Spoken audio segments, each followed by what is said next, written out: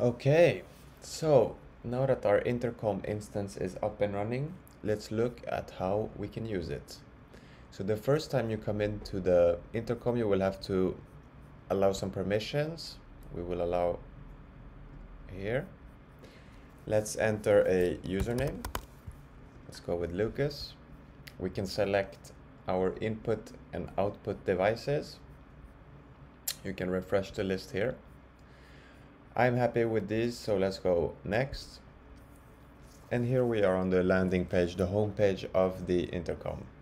The next time you come back here, let's just refresh, you will come directly here. You will not need to set a username.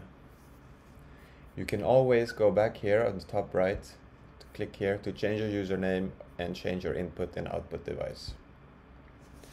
So now that we're here, let's create a couple of productions with some lines that we can join. So we click create. Let's create our production. Let's call it bird watching. And let's create a line under it. This is where we have the actual calls. A line is kind of like a call. So we call this one camera one.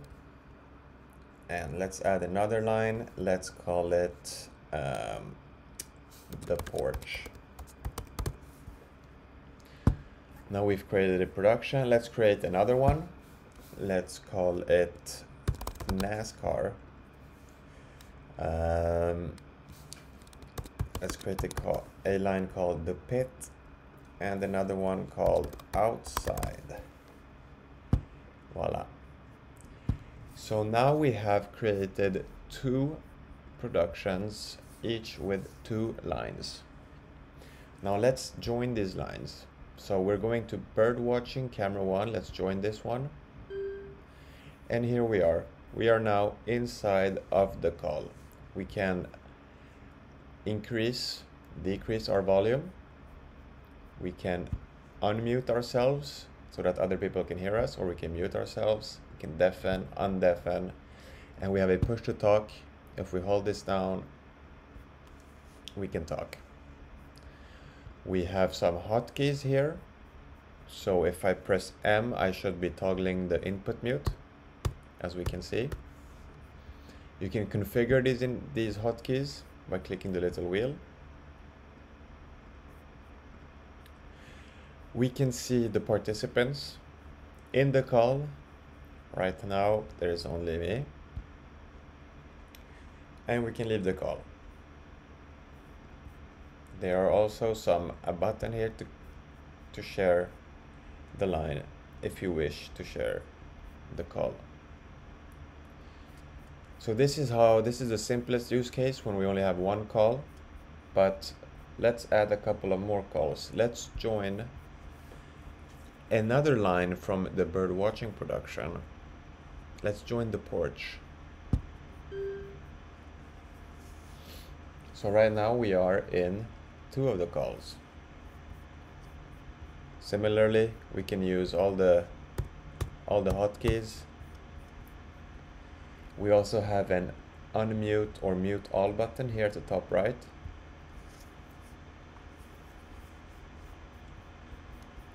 We can also join calls from other productions. We can, so let's join the NASCAR one and let's go into the pit. Let's join. So we are now in three different calls in two different productions. If we want to change our devices, we can click here on the top right, we can change our username or change our input or output devices. Now let's leave all the calls. We're going back to the home page. Now let's let's manage our production. So we click on the manage button here. And uh, we can now edit the names. So let's call this super bird watching instead.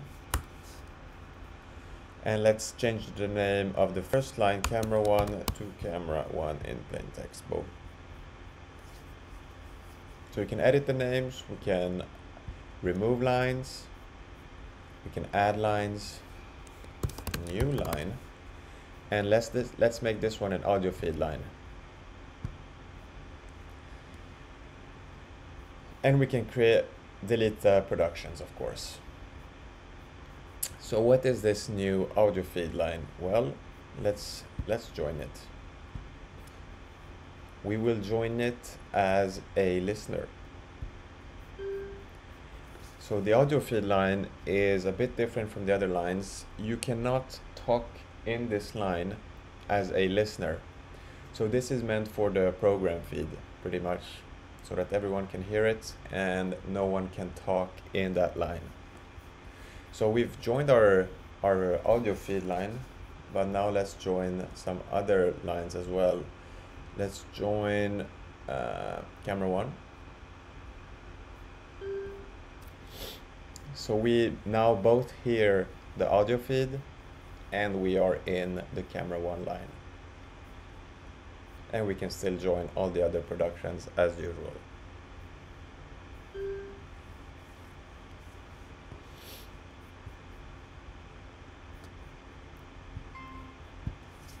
And that is pretty much how you use the intercom. If you want to use this with your stream deck you can check out our other video for on how to use the BitFocus companion module uh, so that you can use your Stream Deck to control the intercom. Good luck.